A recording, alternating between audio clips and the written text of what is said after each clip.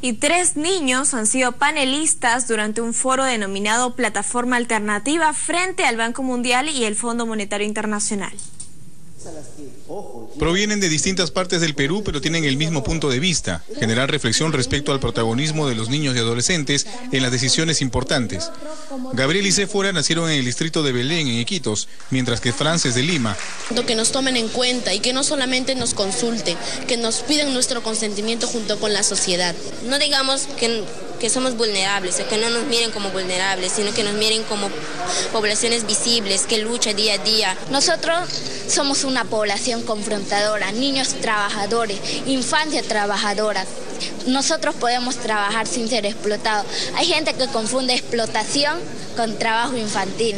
No, por ejemplo, yo trabajo, ayudo a mi mamá, me voy al mercado. Estoy ayudando a mi familia en la economía de mi familia.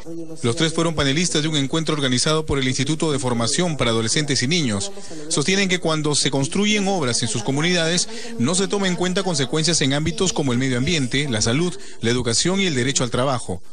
El panel se realizó en el marco del foro denominado Plataforma Alternativa frente al Banco Mundial y el Fondo Monetario Internacional. Con ternura y amor es posible un mundo mejor. Claro que sí.